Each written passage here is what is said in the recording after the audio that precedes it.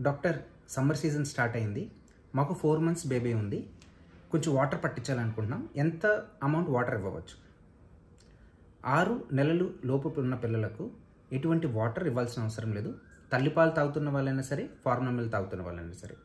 తల్లిపాల్లో nearly eighty seven percent water ఉంటుంది.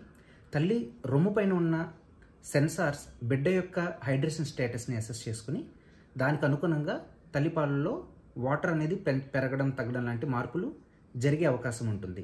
అందుకని చెప్పి తల్లిపాలు తాగే పిల్లలకు మనం అడిషనల్గా వాటర్ ఇవ్వాల్సిన అవసరం లేదు. ఫార్ములా మిల్క్లో కూడా నియర్లీ ఎయిటీ ఫైవ్ పర్సెంట్ వాటరే ఉంటుంది. ఎడిషనల్గా వాటర్ ఇవ్వడం వలన మెయిన్గా త్రీ ప్రాబ్లమ్స్ వచ్చే అవకాశం ఉంటుంది.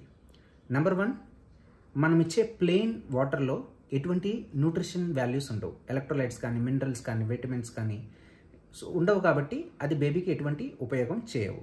రెండు బేబీ యొక్క స్టమక్ కెపాసిటీ చాలా లిమిటెడ్గా ఉంటుంది. మనం ఇచ్చే వాటర్తో అవి నిండిపోవడం వలన వాళ్ళు నార్మల్గా తాగాల్సిన పాల మోతాదుని తగ్గించేస్తూ ఉంటారు. థర్డ్ అండ్ ఇంపార్టెంట్ది బేబీస్ కిడ్నీస్ చాలా ఇమ్మెచ్యూర్గా ఉంటాయి.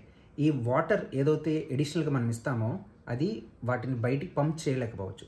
ఈ వాటర్ బాడీలో ఉండిపోవడం వలన బ్లడ్ డైల్యూట్ అయ్యి డైల్యూషనల్ హైపోనెట్రీమే వచ్చే అవకాశం ఉంటుంది. దాని వలన ఫిట్స్ కానీ బ్రెయిన్ ఎఫెక్ట్ అయ్యే ఛాన్స్ ఉంటుంది.